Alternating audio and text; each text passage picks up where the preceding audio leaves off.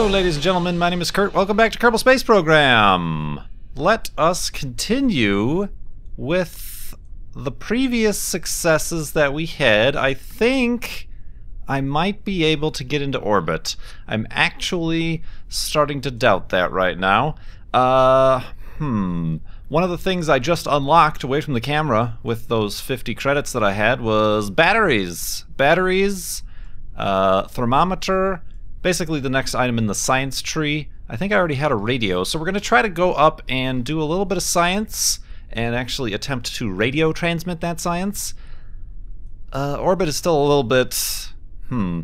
I'm, I'm a little bit not sure about getting into orbit. You know what? Let me actually... Let me go back. Hmm.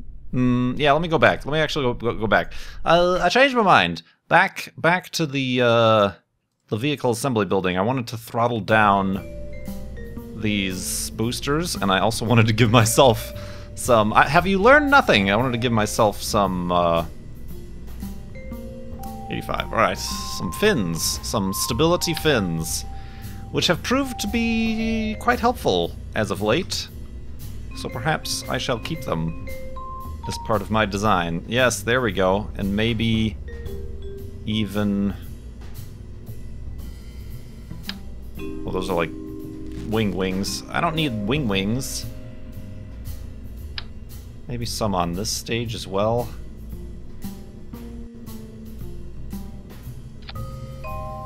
Just to be sure, just to be sure. You can never be too sure.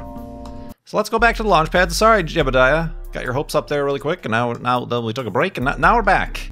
We had to review the process, but we are ready to launch in five, four, three, two, one, go. All right, we're going up at a reasonable pace. I'm gonna throttle back a little bit on the liquid boosters. Uh, whoa, SAS on, SAS on. Let's take it easy. I Totally forgot about that. Easy there. Easy there, big fella. Alright. Solid rockets are lasting nice and long for us. We will do our slight gravity turn. As I mentioned, at about 10,000 meters is when the solid rockets should go away. They shall be jettisoned thusly. Thusly. And... Alley-oop. Oh, we're losing speed. We want to maintain that speed, please. There we go. Let's do an ever so gentle gravity turn. And I did fit the uh, the gimbaling rocket on the bottom as opposed to the the standard solid straight up and down rocket. Alright, let's look at our information we got here. Alright, that's fine, that's fine. Back here. Very nice. Uh, let's keep it on 45, let's say, because we should be able to get to space at this juncture. Let's throttle up a little bit, now that we're out of the thick part of the atmosphere, as you can see. Ooh, that has changed too. Didn't it used to, it used to stay kind of in that mode until you got to 70,000. So I guess that really does, that is a visual, a visual illustration as to how much thinner the Kerbin atmosphere has gotten. Alright, now let's throttle back much more and tilt over this way. And oh gosh, I still don't think we're gonna be able to get in orbit. Alright, let's let's hold that thought since we're we're up in space. What are what does those little things mean? I'm I'm still unclear as to what. Is that heat? Yeah, they're kind of glowing red. That might be heat just from being so close to the engine. Heat and, and maybe, uh, not reliability, but durability remaining in that part? We're just guessing at this point. We're just guessing. Oh, yeah, we haven't taken... Let's take the temperature while we're at it. Log the temperature! Ooh! Let's keep the data. Let's also keep in mind our electric charge. Yeah, let's transmit some of this stuff, just to see. Observe the materials bay! Not that much. Uh, reset the experiment. Just kidding, just kidding. Alright, we're gonna lose this stage. And then... Woo! Take that! You dang stage. Hmm, that's gonna be a tough one. Can never be too sure. Let's, while we're generating electricity, let's transmit that science. Can we do... I almost put him out on EVA. That would have been terrible. Get a crew report. Yeah, I've already done all this stuff before with uh, Valentina, so this is becoming moot. But we've never done the, uh, the temperature before. Where'd it go? Review the data. Send the data. Transmitting data. Data sent. Alright. That wasn't a huge boon for science, but it worked. Oh man, we might get into orbit. I'm really inefficient, so apparently. I should I should have another uh, fuel tank up on this first stage, so we'll have to do that next time. Or we'll just get into orbit right now, shall we? Just keep an eye on your fuel, because you've got to deorbit eventually.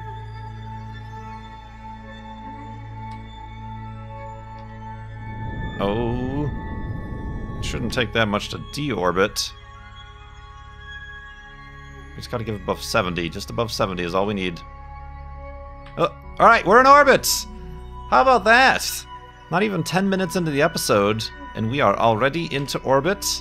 We have a sliver, a literal sliver of fuel remaining. So now I wonder, now that we're in orbit around Kerbin, if the science would be different. Yes! No. Not really. Dang it. Inoperable after transmitting. Huh. That sucks. Well, in space near Kerbin. Oh, we'd have to get much higher. Uh, zero science value. Well, I'll just reset that experiment. Alright, maybe we should stop bringing that mode module with, since it's proving to be quite pointless at this at this juncture. Uh, it's worth nothing, worth nothing. Well, this has been a, a momentous, a momentous occasion to be in orbit here although it is uh, proving to be entirely pointless as far as science is concerned. We got three whatever science from the temperature reading in space near Kerbin. Alright. And we've already done an EVA. Whoa, easy there.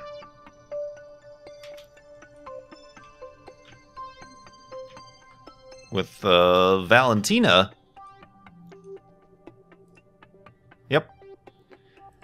Hmm. So we'll have to start thinking a little bit bigger, I think. We'll have to start thinking of higher altitudes. We'll have to start thinking of destinations, such as the moon. Um, I mean, there is also stuff we could journey to different biomes within Kerbin, I guess, but that really doesn't interest me so much. I mean, like, the, the, the planes and stuff are neat, but that's not it's not exactly what I signed up for. Alright, can I attach myself back to this? Easy. Easy.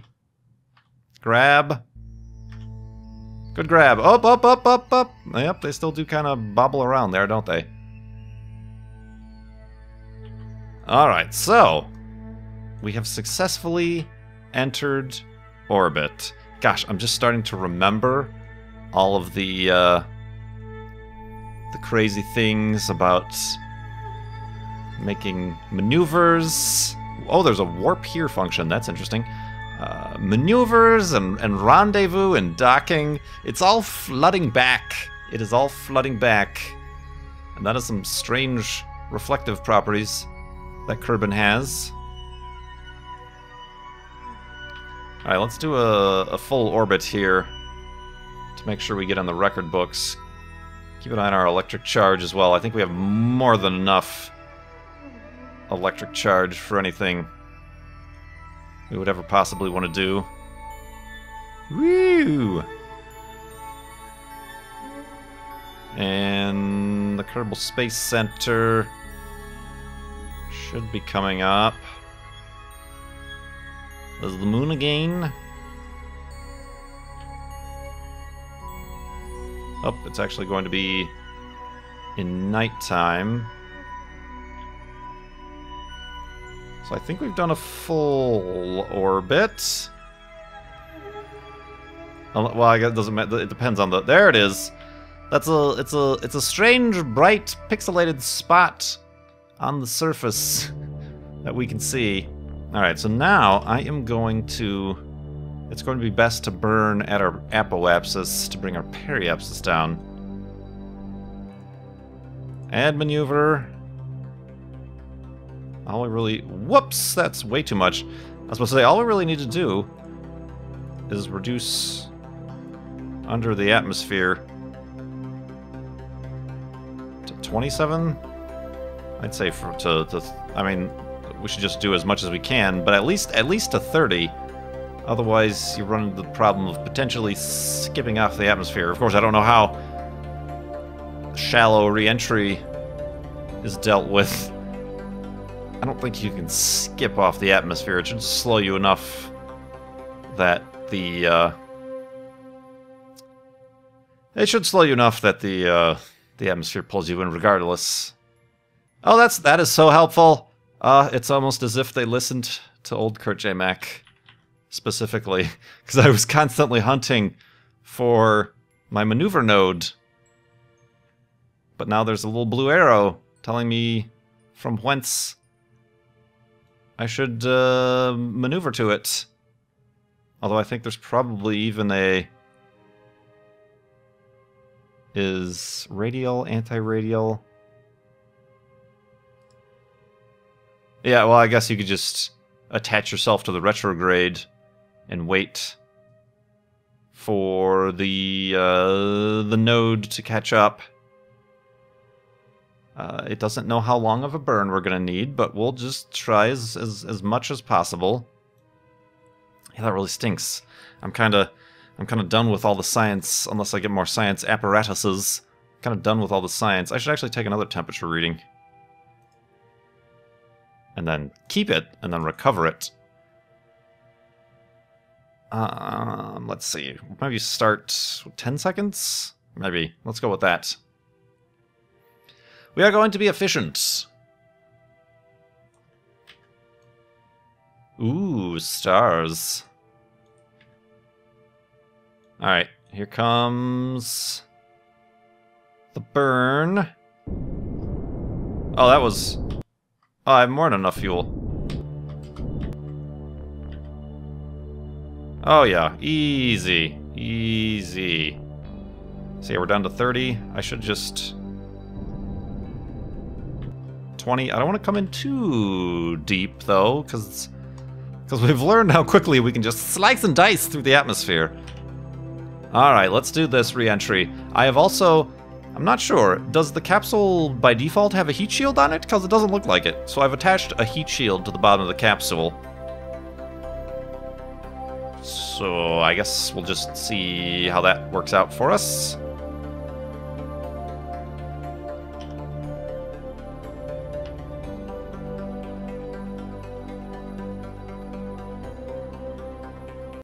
Whoop, whoop, whoop, whoop. All right. We are back. Interfacing with the atmosphere, I should...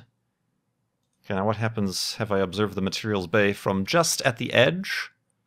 Hmm, it's inoperable after transmitting. It, it, it gives you zero, zero, zero of the science data. Well, that's unfortunate.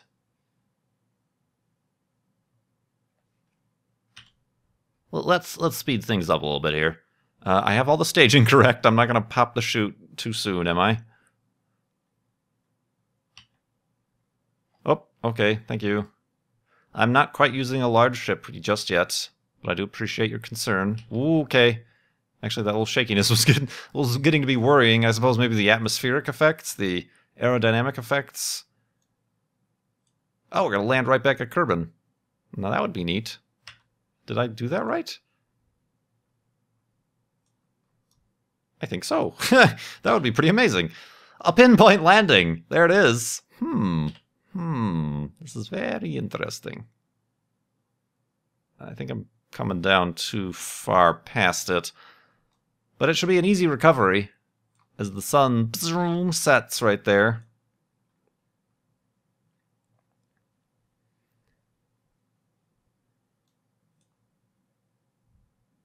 Let's burn what fuel we have left.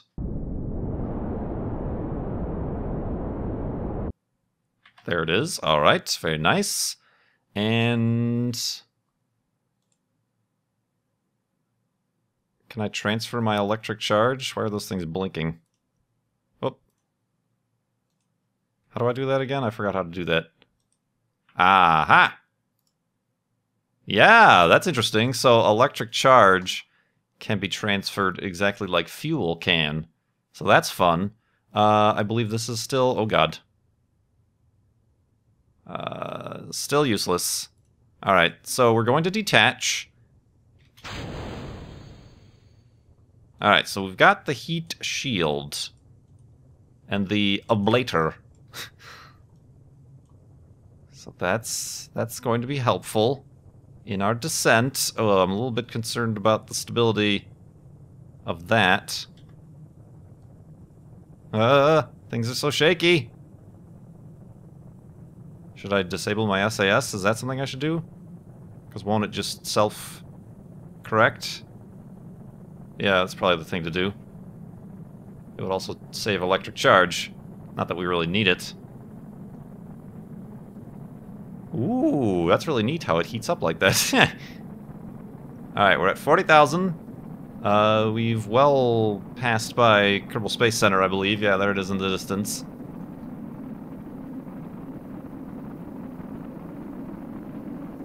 Alright. Look at how fast we're going, and now we're starting to finally bleed off speed. Yikes. This is scary. Ooh, the moon! You can see the moon! Hello, moon. I'm coming for you next, sucker! okay, this is getting scary, actually.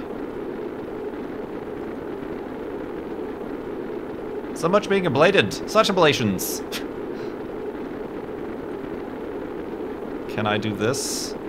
Observe the mystery goo. Uh, I'll keep the data. I'll take all the science I can get.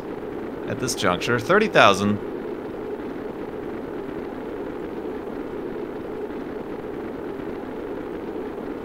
Did we lose that other part? Oh yeah, it's way off in the distance.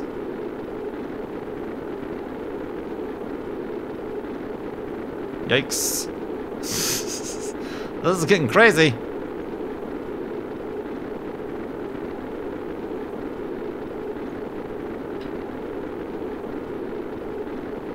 EVA! No. Uh, oh, man. Wow, this is lasting a long time. I guess we did come in quite shallow. I mean, we are coming in now, right? Yeah. W without a doubt.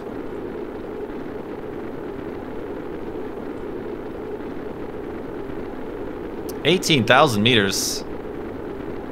Still bleeding off the speed. Uh, I kind of see a shoreline up ahead. That's concerning. Oh, sonic boom! That's funny. I, it, it sounds like a, an audio glitch, but I think it is actually something they added into the game. Alright, 10,000 meters. We have to get under 200 meters per second for this parachute to be okay. Am I right? Or am I right? 8,000.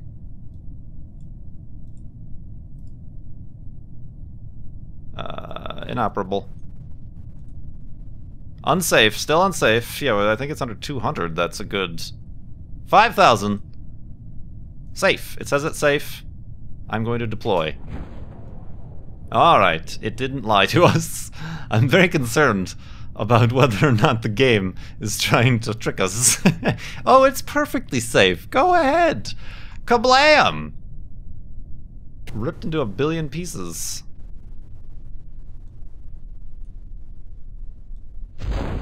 Ooh.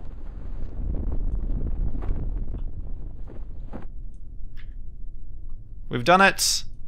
We have survived our first orbit of Kerb. Well, I, we haven't touched down just yet, so I should maybe wait a few seconds. Ah, maybe from within the water? Have I ever observed the goo from within the water?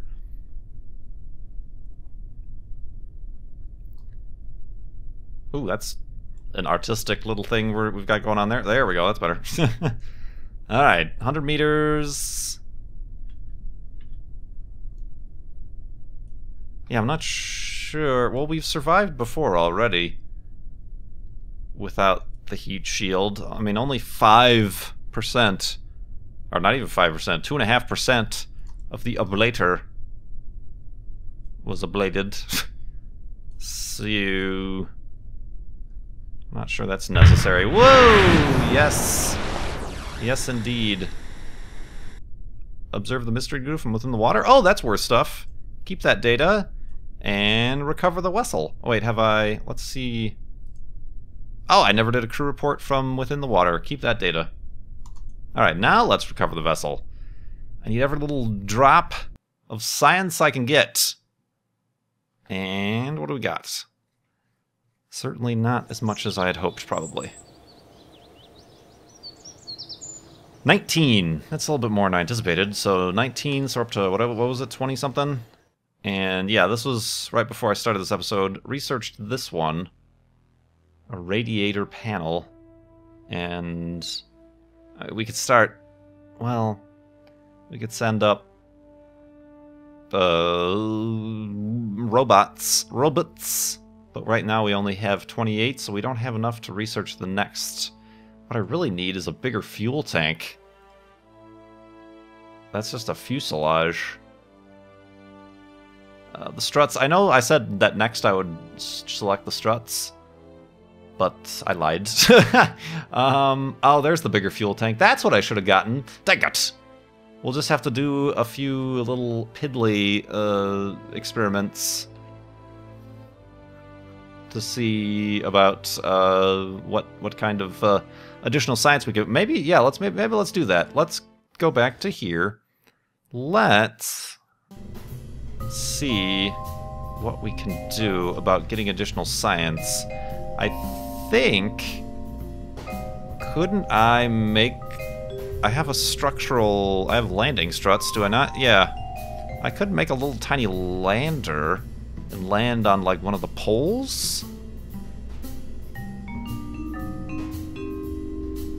And then, like, do science at the poles? Is that suggestible? Debatable? Maybe, maybe not. Probably not. Probably a terrible idea. See, so like, what if I did that? That just doesn't look like a good connection. What if I did that? I mean, we don't need to get into orbit, obviously.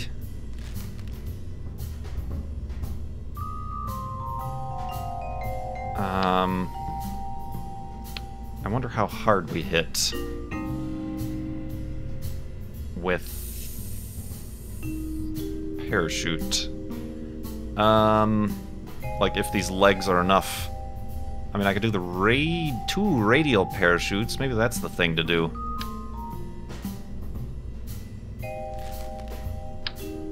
Oh god, those are huge. Maybe not. Those are gigantic. um, hmm. I, I think this might be ill-advised, but uh, I'm gonna try it let's see here.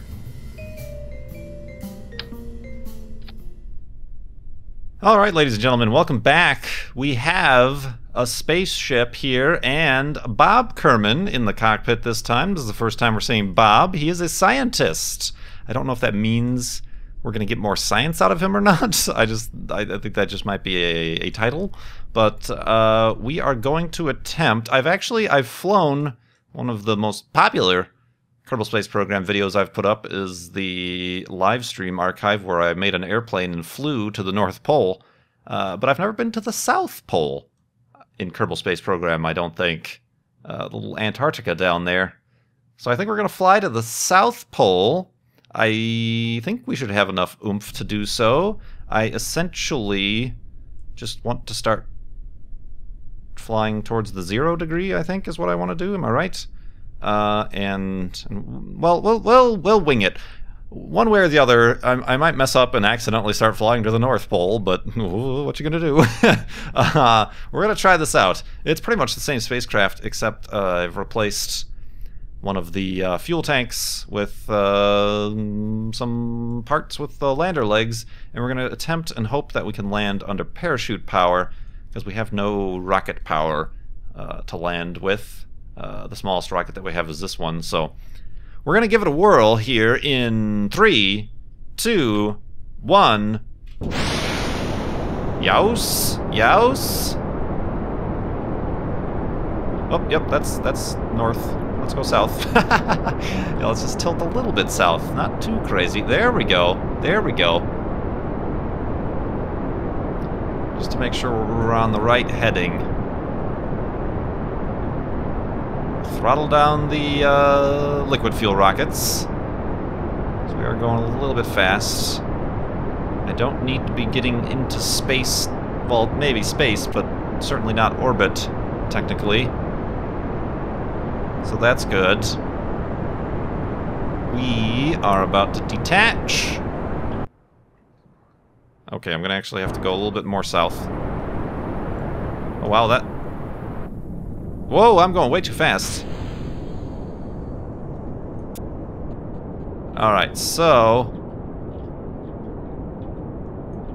Yeah, we're actually going to have to counteract the orbit... I'm sorry, the rotation... Not too much, not too much. We're going to flip over.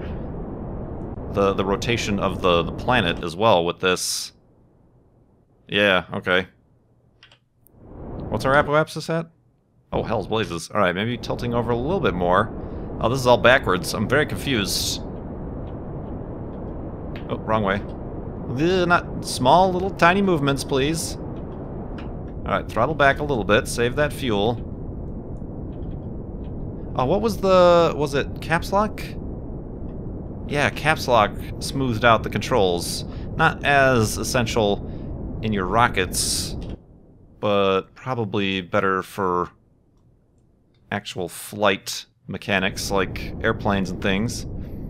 I remember, I remember. Alright, we just got to get that angle pointing south. Just a little bit more that way. An unusual launch here. a very unusual launch. Uh,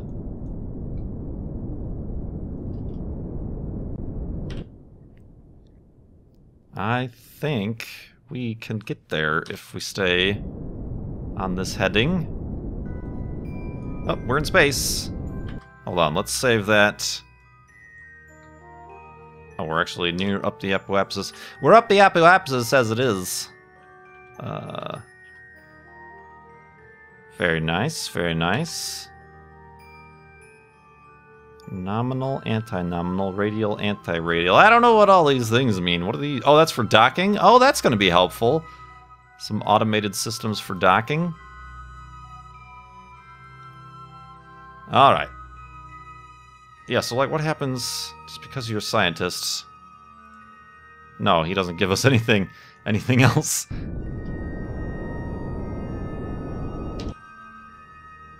Okay. Hmm, getting into polar orbit, or just into polar flight, is a difficult task indeed, it would seem. Alright, let's do that. Alright, we're gonna lose this stage. That's fine and dandy. Let's check where we are. We are not gonna make it. We are not gonna make it, my friends! Uh... Although we do have a little bit more oomph in regards to having just lost all that weight.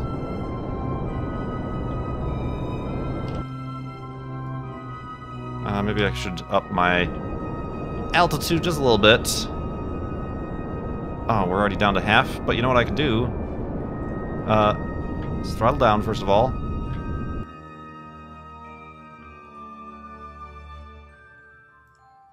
I've got that extra fuel tank there. Didn't really plan that out very well, but did I do that right? Yeah, I did. Alright, things are not transpiring as well as I anticipated. Oh, getting to getting to the South Pole is difficult. Alright, let's let's see how this transpires. Uh-oh. We're starting to have heat issues. Oh, and we've run out of fuel. Ah, I did that all wrong. I'm gonna come up many miles short. Uh, let's lose the stage. And then make sure our heat shield is actually, uh... Alright, there we go. That's better. Dang it! Wow. Yeah, that's tough. Um, hmm. I am going to have to think about this much harder than I the few minutes I put into it previously.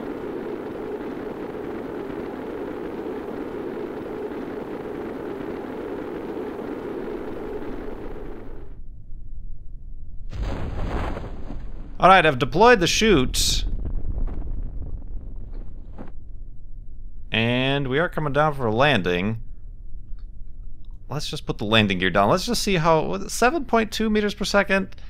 Might be a little fast. Might be a little bit fast for this...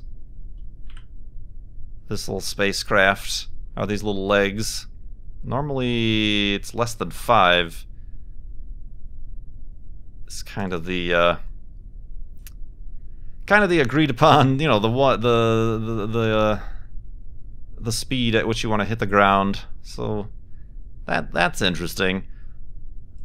And for some reason, this stage is glowing red. I don't know what I did wrong with that, but it's glowing red. Don't touch it! It's very hot. It's very hot. No touching.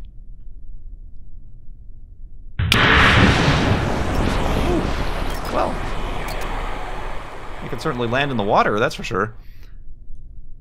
Uh, we haven't taken the temperature in the water, have we? 413 degrees. Oh, is that is that because is that like the temperature? What happens if we put you in the water?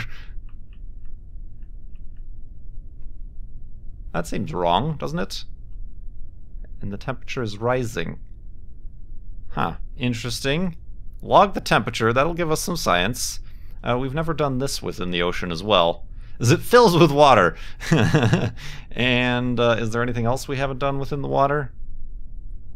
Uh, maybe an EVA. Ooh, careful now. EVA report. Yeah, let's let's keep that data. All right, I'm really scrounging. I'm scrounging for this science. So, all right. Perhaps, perhaps in the next episode, we will have a much better thought out plan to get to the South Pole. but uh, until then, thank you so much for watching. We've got uh, 17 more. Oh, wait, is that enough? Have we done it? Has Bob Kerman saved the day? He most certainly has. We have 45.8 science, and that's exactly what we needed. So, which one did I actually want? Do I want the strut connectors? Or do I want winglets? Do I want the bigger fuel tanks? I think I want the bigger fuel tanks and the access to, like, this would be good for landings. This little puddle jumper rocket. Uh, so I think that's what we're going to do. And then we're going to have zero science starting out the next episode. Starting from scratch. But yeah, thank you so much for watching. My name is Kurt. I will see you next time. So much science! Look at all this science. Science for days.